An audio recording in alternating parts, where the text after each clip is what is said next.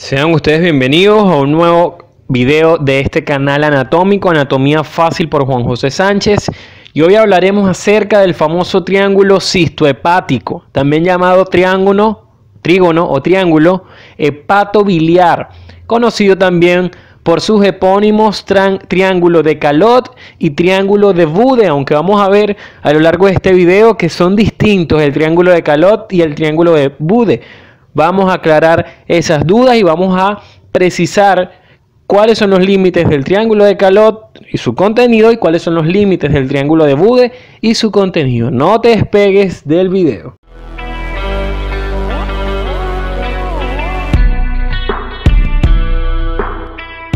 Te invito a suscribirte, aquí en la esquina inferior derecha dale clic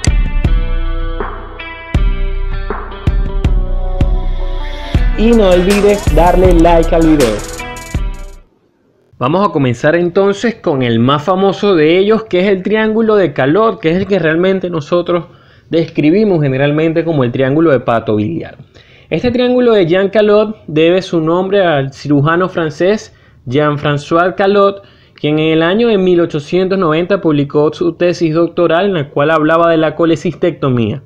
Él describía entonces en la región inferior del hígado infrahepática un triángulo isósceles que tenía sus tres lados iguales, cuyo límite superior iba a ser la arteria cística, recordando entonces que la arteria cística era rama de la arteria hepática derecha, que a su vez es rama de la arteria hepática propia. Esta a su vez rama de la arteria hepática común.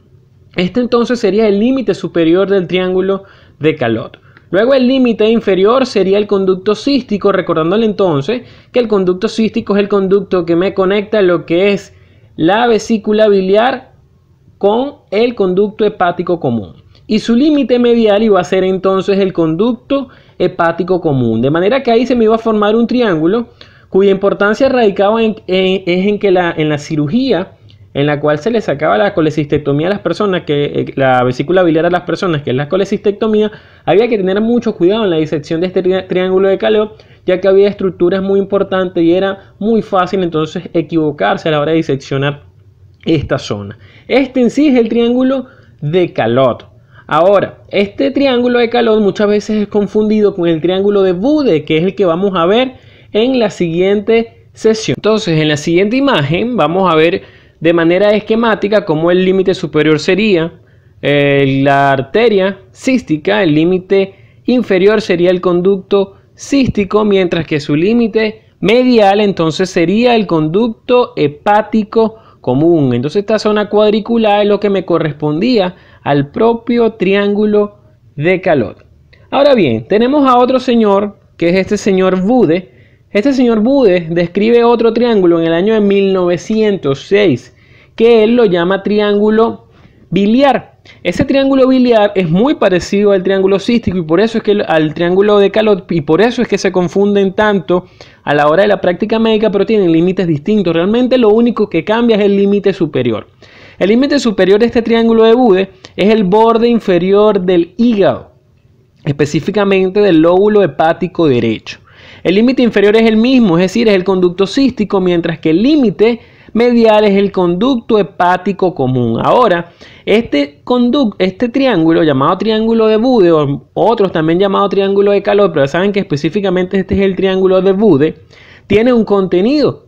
Los contenidos importantes que él va a tener, bueno, aquí recordándole los límites, van a ser el borde inferior del hígado, el límite inferior conducto cístico y el límite medial va a ser entonces el conducto hepático común.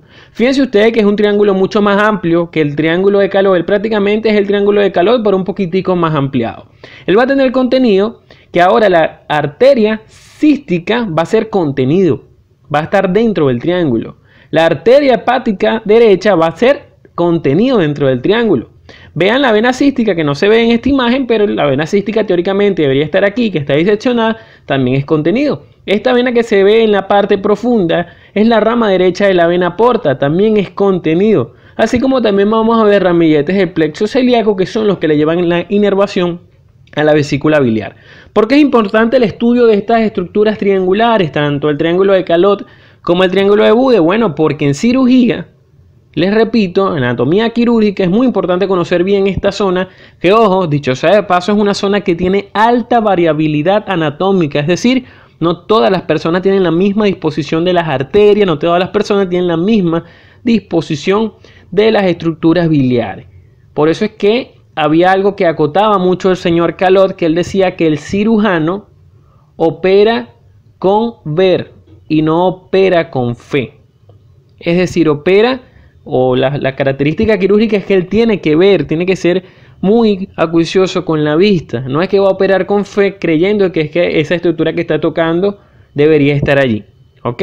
Es decir, él hace mucho énfasis en que hay variaciones anatómicas en esta zona. Entonces, este ha sido todo este corto video. No olvides suscribirte en el circulito que te sale aquí, compártelo, dale like. Aquí te dejo videos de la anatomía de las vías biliares para que te familiarices con el tema, así como anatomía de otras estructuras infra, intraabdominales como el duodeno. Muchísimas gracias.